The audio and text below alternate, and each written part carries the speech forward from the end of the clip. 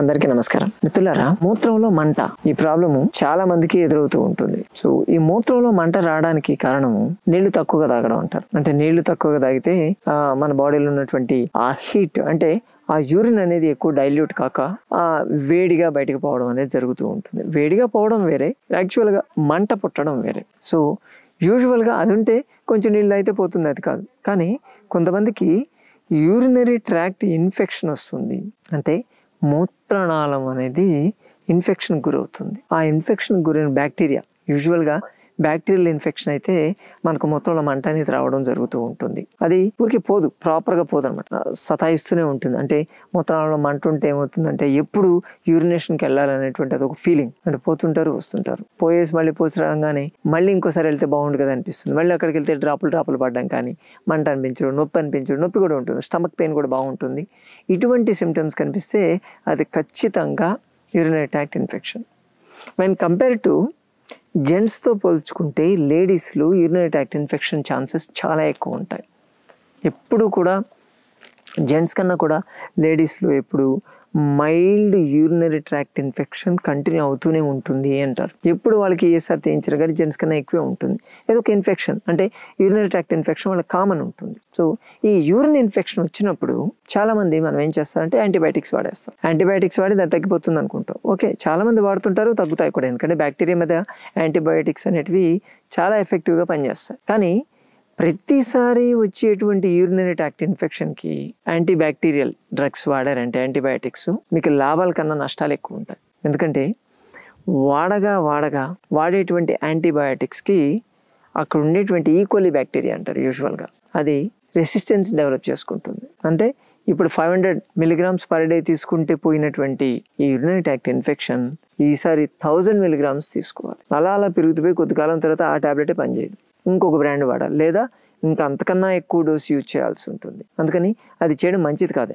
Antibodies antibiotics వాడడం అనేది. ఇంకొకటి ఈ యాంటీబయాటిక్స్ని మీరు ఎక్కువగా వాడితే అంటే బాగా సివియర్గా అయిపోయి ఇంకా ఏమీ చేయలేని పరిస్థితుల్లో కాంప్లికేషన్స్ ఎక్కువ ఉన్నప్పుడు మాత్రమే యాంటీబయాటిక్స్ వాడాలి. అలా కాకుండా ప్రతి చిన్నదానికి కొంతమంది ఆ పెయిన్ మంట భరించలేక మైల్డ్ టు మోడరేట్ ప్రాబ్లం ఉంటారు. అటువంటి దానికి కూడా యాంటీబయాటిక్స్ వాడేస్తారు.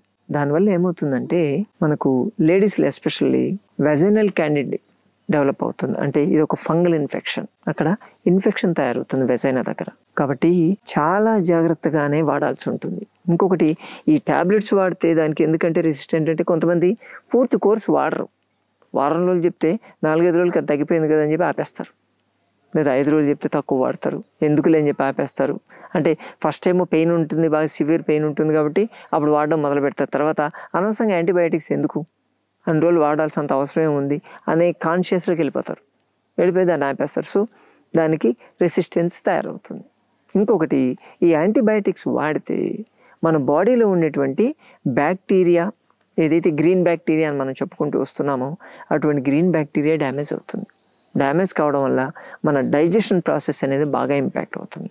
ఈ యాంటీబయాటిక్స్ ఎక్కువ వాడితే మీకు నాసియా వామిటింగ్ సెన్సేషన్ ఎక్కువ ఉండడం హెడేక్స్ బాగా ఎక్కువ ఉండడం ఇంకా ముఖ్యంగా యాంటీబయాటిక్స్ మీరు వాడేటప్పుడు లివర్ ఫంక్షన్ టెస్ట్ చేయించారనుకోండి అది ఖచ్చితంగా తప్పులు వస్తాయి దాంట్లో. ఎక్కువ బైల్ యాసిడ్స్ బైల్ సాల్ట్స్ ఏఎస్టీయో ఏఎల్టీయో ఏదో ఒకటి రీడింగ్స్ తప్పు వస్తాయి అది కరెక్ట్ చూపించు. దాన్ని చూసి అయ్యా నాకు లివర్ ప్రాబ్లం స్టార్ట్ అయిందని చెప్పి దానికి మళ్ళీ మెడికేషన్ మొదలు పెట్టడం జరుగుతూ ఉంటుంది.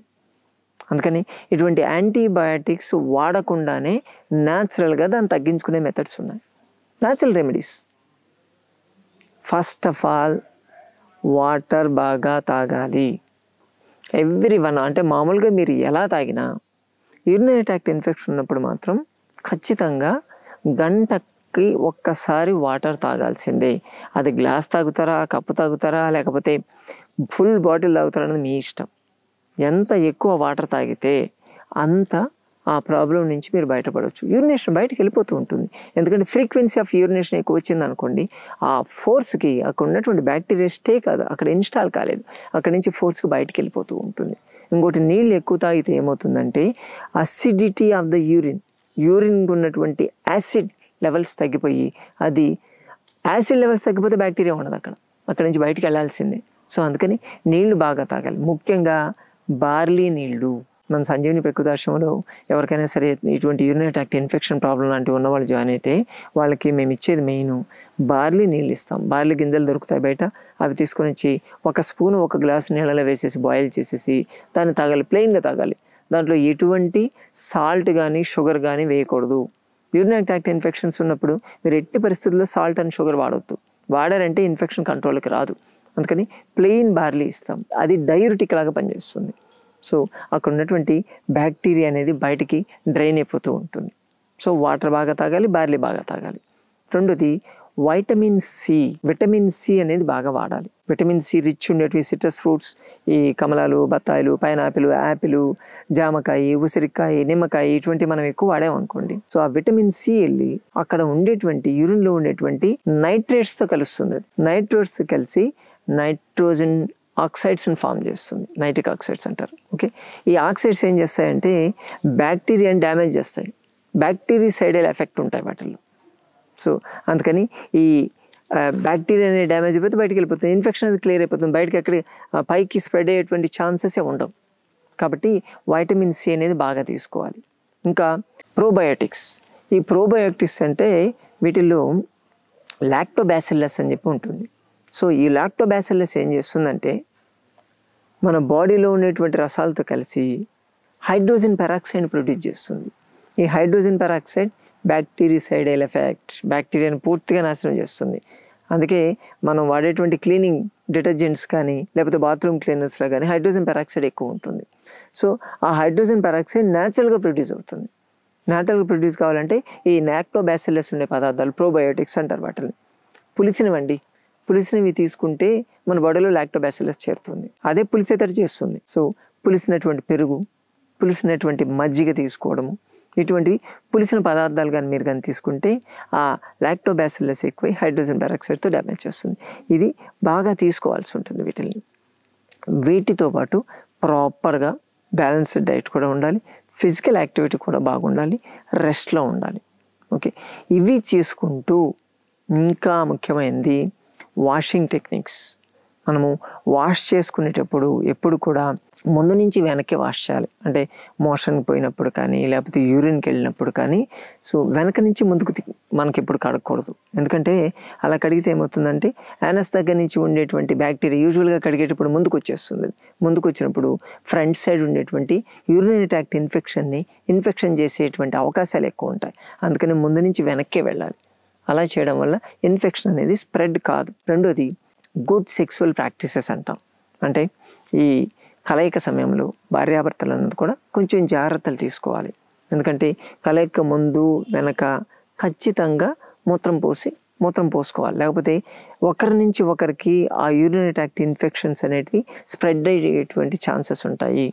గుడ్ హైజీన్ ఫాలో కావాలి. ప్రాపర్ హైజీన్ అంటే ప్రాపర్ అండర్వేస్ యూజ్ చేయడం ఒకటి ప్లస్ ప్రాపర్గా వాష్ చేసుకోవడం ఒకటి ప్లస్ ఉన్నటువంటి ప్యూబిక్ హెయిర్ని క్లీన్ చేసుకోవడం ఒకటి డ్రైగా ఉండేటట్టు చూసుకోవడం ఒకటి ఇవన్నీ కూడా సిన్సియర్గా చేయాల్సి ఉంటుంది.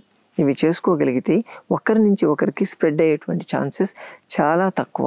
ఇంకొకటి వాటర్ బాగా తాగుతూ ఉంటారు కాబట్టి యూరినేషన్ ఎప్పుడు వస్తే అప్పుడు వెళ్ళాలి మీరు. ఎందుకంటే బాడీ దాన్ని బయటకు పంపించడానికి ట్రై చేస్తుంది. అర్జీ మీకు వచ్చినప్పుడు ఆ యూరిన్ పోవాలని చెప్పి వచ్చేటువంటి అర్జీ ఏదైతే ఉంటుందో దాన్ని ఆపొద్దు.